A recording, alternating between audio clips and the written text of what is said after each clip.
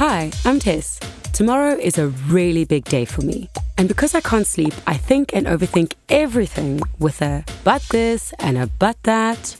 I call these thoughts my headbutts.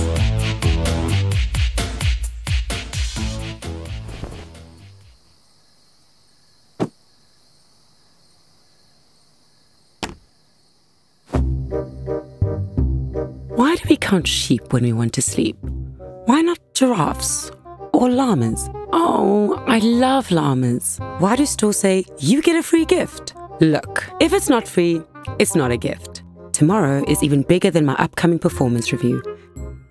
And fingers crossed, promotion. And it won't go to Matthew. He's good, but I am better. But remember, I told you about that research showing women have to put in twice the effort to get the same recognition.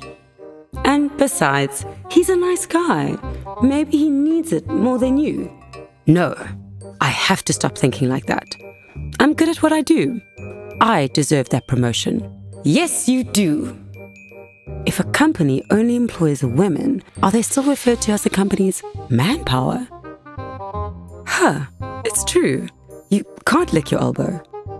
Decision made. If it goes to Matthew, I want an explanation. But don't get too demanding. I don't want to add bossy to your performance review. I'm being paranoid. She'll never do that. Nothing wrong with saying what I feel. But I've been telling you since you were little, Tess. A woman learns to control her emotions. Why is that still in here? I mean, that idea belongs in a different century. At the current rate of gender reform, it will only take 108 years to close the gender gap? Hmm, if I keep moisturizing, I might make it. Wait, doesn't bossy mean I'm acting like a boss? Damn right I'm bossy. All the way into that corner office. But remember, I told you that only 32% of all managers in South Africa are women. And I love being your neighbor because you're really cute and. Stop it. Focus, Tess. You're solving office gender equality for all women. And next on the agenda, harassment. But how is it harassment when you're wearing that low cut top? Boys will be boys, and boys like toys. How about a play date? Okay, you. That thought goes into the never think that again folder and deleted.